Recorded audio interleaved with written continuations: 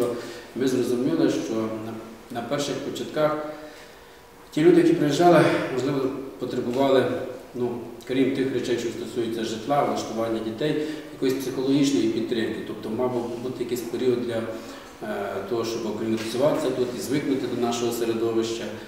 Ну, не так багато на рівні, я не можу сказати, там, скажімо, якщо центр зайнятості вільних людей тільки заходить в нашу область, то якщо говорити про наше місто Тернопіль, то спочатку, з того часу, як почали до нас переїжджати переселенці, в центр зайнятості звернулося 188 чоловік. Потім вже був період, коли треба було обов'язково значить, отримувати довідку на переселенця.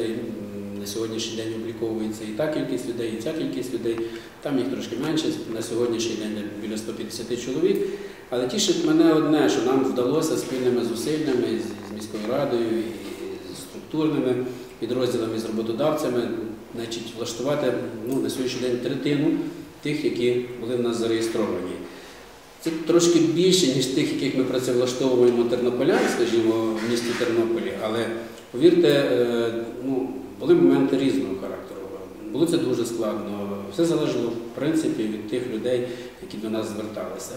Значить, як практика показала, на жаль, хто кого, будемо так казати, була біда, треба було приступити до роботи, той приймав рішення кардинальні і міняв, е, скажімо, професію чи йшов працювати на ті вакансії, які є.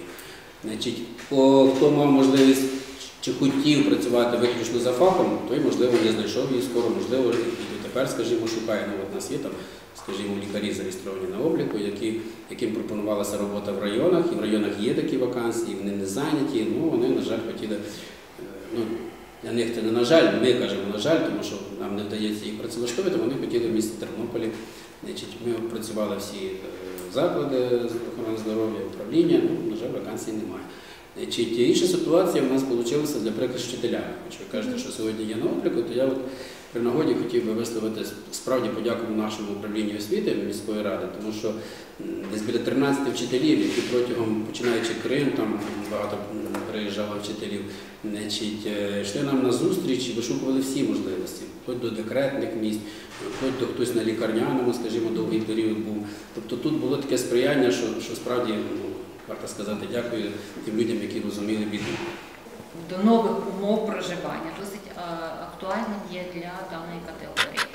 Е, Хочу сказати, що сім'ї, які до нас приїхали, сім'ї з дітьми, е, на сьогоднішній день практично ну, цей процес адаптації, перший рівень вони пройшли. Пройшли досить успішно. Якщо врахувати за цей рік, то в нас виїхало ну, буквально мігрували ну, десь приблизно ну, 200 осіб. Це не є така велика кількість щодо загальної кількості зареєстрованих.